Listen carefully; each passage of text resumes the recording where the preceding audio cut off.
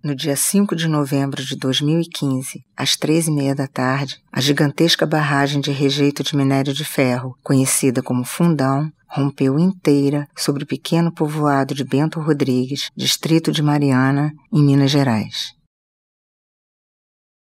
A barragem pertence à empresa Samarco, que é controlada por duas das maiores mineradoras do mundo, a brasileira Vale e a anglo-australiana BHP Billiton. O acidente se converteu na maior tragédia ambiental brasileira e é o único dessa natureza da história da mineração mundial.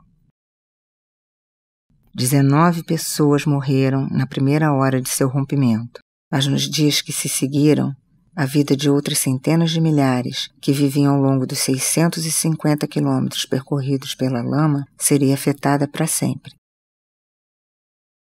Por volta das quatro da tarde, Bento Rodrigues deixou de existir. A gigantesca onda de lama espessa invadiu a vila engolfando as casas, estourando os vidros e arrastando móveis, roupas, brinquedos, panelas e toda a história de vida que havia ali. Muitos animais que estavam presos no momento em que a onda chegou também foram levados. Cachorros, gatos, cavalos, galinhas, porcos, passarinhos engaiolados não tiveram qualquer chance. Rolaram junto com telhados, janelas, o altar da igreja de mais de 300 anos, árvores e automóveis. Os moradores em fuga assistiram aterrorizados o Mar Vermelho passar pelos telhados e cobrir rapidamente toda a vila. Era uma visão medonha. Como ficaram ilhados em pontos diferentes, não sabiam quem havia sobrevivido.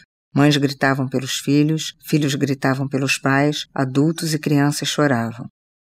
Alguns moradores formaram uma corrente humana e resgataram vizinhos que iam sendo arrastados pelo entulho líquido. A onda seguiu rio abaixo. Um pouco depois das seis, um helicóptero dos bombeiros pousou no campo de futebol do povoado de Paracatu de Baixo, cerca de 70 quilômetros de Bento. Um oficial desceu da aeronave e avisou os moradores que eles tinham 10 minutos para correr para a parte mais alta do lugar. A barragem da Samarco informou. Havia rompido e uma onda de lama vinha em direção ao povoado. Os moradores desconfiaram. Não podiam acreditar que o rejeito de Mariana chegaria até lá.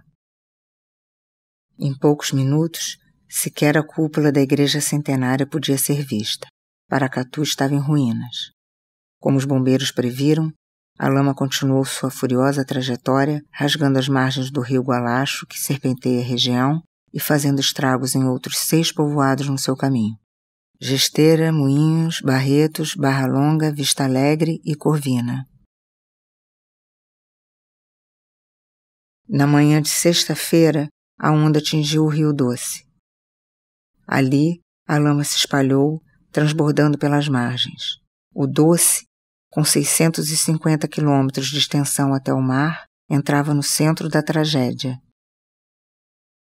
Os técnicos que seguiam a rota dos rejeitos e fizeram a medição dos resíduos se apavoraram com o resultado da coleta. A lama soterrara o rio,